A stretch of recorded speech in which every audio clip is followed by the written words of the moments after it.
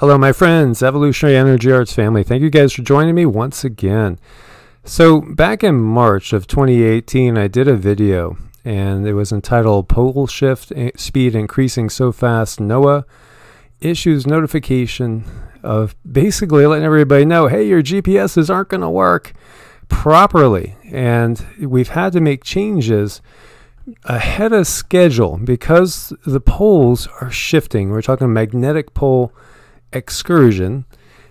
And an excursion is when the poles shift, but then they possibly could bounce back to the original position. Uh, pole reversal is when they flip and assume a new position. We haven't had a complete reversal that stayed uh, in about 780,000 years, apparently, according to official sources. Now, again, as we have been learning more and more as far as the science goes of these things, we we are inevitably drawing doubt on a lot of the official conclusions, you know, and what we are being told perhaps is not all the truth. Perhaps these things happen much more often uh, than we know. Again, uh, it's it's a fascinating thing to track, and this is one of the things that so many people in this field are so just so waiting for with bated breath. They want to know what's the new numbers showing, what's happening. You know, is it speeding up? Is it still ongoing? Where is the magnetic North Pole? And so, you know, I encourage you guys to check this video out from uh, March of 2018. Uh, but we're going to go into what's going on now. So here we see Earth's magnetic field is acting up. Geologists don't know why. Erratic motion of the north magnetic pole forces experts to update model that aids global navigation ahead of schedule. Now, we talked about in a few videos ago the fact that the Inuits and other natives that live up in the Arctic Circle have come right out and said something has changed. The stars aren't where they used to be. The earth is wobbling. Interesting. The Bible says the earth will wobble like a drunkard. And it is. And so, how often does this really happen? You know, we think about the Younger Dryas uh, extinction. We see evidence of asteroid impacts, and you know, again, that's that's back about eleven to twelve thousand years ago. It does seem like there's massive extinction events in that time period. And also, perhaps about every 11, 12,000 years, 12,500 years, somewhere in that range. You know, and it's interesting how this all fits into the precession of the equinoxes again. Over here we see how Newsweek, Earth's magnetic pole is moving quickly towards Siberia. It's clear something strange is happening. We know we are being exposed to a lot more cosmic rays uh, than we have ever in our lifetime, certainly, and in many generations, perhaps thousands of years. We have a lot of things going on right now. Some people believe Nibiru is in the sky, the Nemesis system. Interesting photos we are definitely seeing from around the globe showing either a second sun or perhaps some planets. We know f- for sure that we're in what we would call a grand solar minimum, a period of quietness on the sun where the sun is putting out very, very low output. The sun is our primary shield for the uh, interaction between the sun and the earth, uh, creates basically a protective shield around the earth itself. And when the earth, when the earth is experiencing, for instance, a pole reversal, uh, the magnetosphere declines. When the sun is in a grand solar minimum, the magnetosphere declines, and thus we are being bombarded with a lot more cosmic radiation than we've ever been before. And some say that UVC is hit, is basically hitting the ground, and that's supposed to never happen. So we have tremendous changes happening on the planet, without a doubt. As we see here, the position of the magnetic North Pole is officially changed. Uh, it's it's wandering, and yes, you know what? The magnetic poles always wander. And again, uh, as above, so below, as within, so without. What's going on inside of the Earth is a reflection of all the energy coming to the Earth from the outside as well. And so all this is completely interconnected. And so, you know, this article we see NOAA has announced the National Centers for Environmental Information has updated the wor- World Magnetic Model mid cycle to reflect unexpected changes in the location of the North Pole. And so we're going to get into a little bit more detail here. This is an interesting article. The role of geomagnetic field intensity in late quaternary evolution of humans and large animals, and basically what it comes to as far as conclusions go, is that pole reversals and extinctions seem to go hand in hand. Uh, and that's obviously not a good thing when you're living in a time of a magnetic pole reversal, which most definitely is underway. And again, will it be a full reversal, something we haven't seen according to official sources in 780,000 years? Or will it be just another excursion that snaps back to the original place? We don't know. Nobody knows. You know, all the official sources don't know. Um, ben Davidson, Suspicious Observers, one of the what most people would say is definitely one of the best researchers uh, on this. He's done extensive work. Uh, you know, he's he's his channel is great. I, I I do appreciate his work very very much. And you know, we see world's number one geophysical journal that confirms extinction events are tied to magnetic excursions. World Magnetic Model forced to be updated prematurely due to exceeding error range. The acceleration of the shift has continued, not slowed down, as was predicted by NOAA in their 2015 release. Of course, they don't want to panic anybody. They, you know, obviously they don't want to panic anybody. And if you could see this model that's rolling out, it shows just how far it's gone, going from 1600 to 2015. And at one point in time, it, the magnetic North Pole was located well into Canada, and it's been just rapidly heading towards the actual North Pole. And now we have new figures uh, that are going to give us a clue on where it is. And the big question, which mainstream science would say a magnetic excursion has nothing to do with any sort of crustal shifting of the Earth. Think of an orange and think of that white part of the orange and think of that white part being completely separated from the inner part and just kind of floating on the surface of the or of the orange. So there are two totally different uh, fields of thought here. One group says there is no no such thing as a crustal uh, displacement. Uh, basically, it's just all magnetic. Worst thing is your GPSs might not work right. We might have some, you know, grid problems when we get down really low in the magnetosphere. We could have, uh, as we were warned by the government last December, we could have uh, grid failures that might last a long period of time. And so the government said, hey, be ready for six months on your own because you might have to be. Now, crustal displacement theory by Hapgood, Hapgood and Velikovsky uh, says that not only that happens, but the whole crust of the Earth shifts. That's a big difference. That is a huge difference. So you'll get some people that say it's all fear mongering. There's no such thing as crustal displacement. Uh, that's just fear mongering. And then there are those that are in the Velikovsky and Hapgood uh, camp that say, yeah, crustal displacement happens. And there's a lot of evidence of it. So we have the Chan Thomas story, the Adam and Eve story, which was officially classified by the CIA and then declassified 50 years later, classified in 65, declassified 2015, coincidentally. And uh, in it, it basically is talking about kind of the most horrific scenes you could imagine from the movie 2012, if you guys have seen that. Where we go from this, what we're all used to, to kind of this. And that, of course, displaces a ton of water.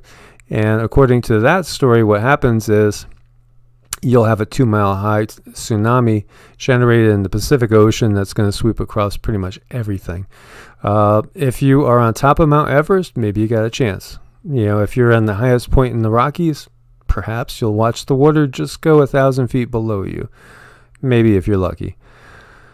Or perhaps if you're inside the Earth in a deep underground military base that is completely sealed, uh, you'll be okay. So, very, very different points of view on this. And what there is a lot of evidence for crustal displacement and massive extinction events. And will it be something like we see in the movie 2012, The Day After Tomorrow? Uh, we don't really know. Honestly, that's the thing. Uh, opinions really vary on this. And so, can you imagine a wall of water two miles high coming in from the Pacific? Well, a lot of you can because you have. And a lot of you guys have seen it in dreams. Uh, it's amazing how many people over uh, the years that this channel has been up have made comments to that fact and shared their dreams. We do have sediments containing fossils formed at sea level, now 8.8 kilometers above sea level. That's a lot. That's like, you know, five miles high, you know, four and a half miles high, uh, you know, at some of the highest peaks in this world. Now, is it a natural process that took millions of years, the slow uprising of mountains, as they will tell us? Or was it something that happened in a huge cataclysm almost instantaneously? Again, we don't know. And uh, at the same time, we too also have things that were above the surface down below the surface. And we have the case of woolly mammoths that were found with their meals completely intact inside of their bellies, and they were all of a sudden flash frozen, as if they were taking taken from a region, you know, for instance, say maybe like a California type region, and all of a sudden put up into the Arctic. Just instantaneously, their entire bodies flash frozen. And of course, then we also have found cities under the oceans in many different places, relics of these cities now lying under the ocean. Of course, we have the legends of Atlantis and Lemuria, Mu, you know, great civilizations that are now down on the bottom of an ocean. So, would a slow, gradual process do that? No, it's got to be something that happens a little bit quicker. Wouldn't you agree? Something that catches people unaware. Well, the update that we're waiting for is coming out on December 10th.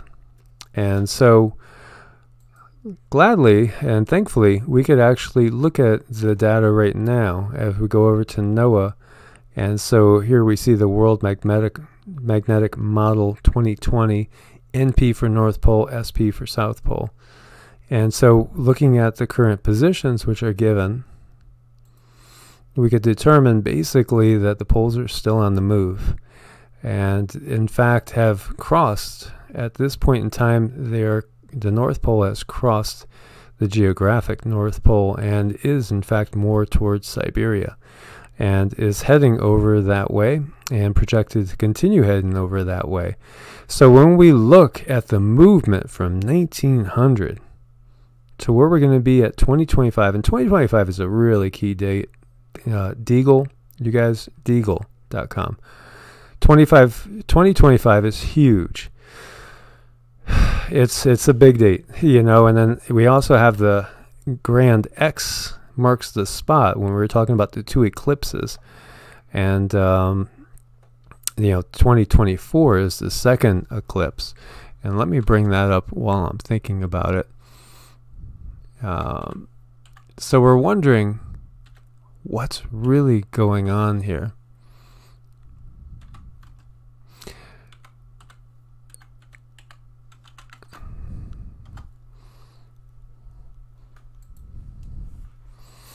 All right, I'm not getting on this one.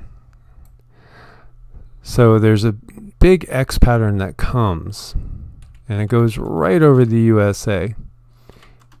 And let's see if I do it again, guys. Thank you for bearing with me. The first one came in August of 2017. And the second one is, is going to be coming in 2024. And this is what we're talking about. April 8th, 2024.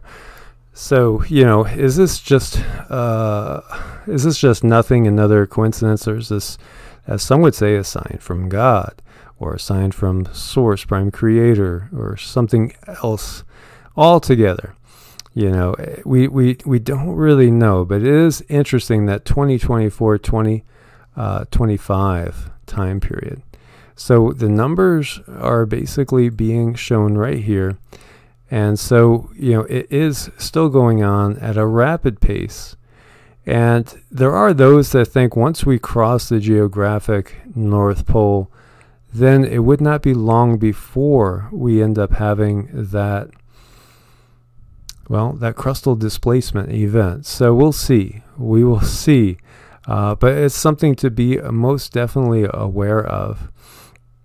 And uh, we look forward to them explaining and saying them, NOAA and NASA, you know, what their thoughts are on this as most definitely we are in completely unprecedented times. And so here again, you could see the movement of the poles, which can be very erratic. And this is the North Pole. Starting over here, it kind of went over this way, over here, and then just started to make a beeline. And it's been making that beeline for a really long time now, and it's actually been increasing. So the speed of this thing has intensified. And when will we get to that point when we might actually have that crustal displacement? That's a big, big question. And those people that don't believe in crustal displacement, uh, you know, just look at the plume uh, that and so a plume just for you guys that aren't familiar with a plume is a spot where magma is rising from deep within the core. And there is a plume that has formed the hawaiian islands. And if we look at this plume,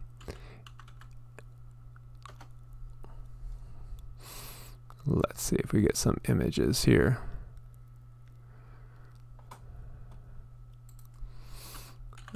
If we look at this plume, it shows that at some point in time, the islands turned.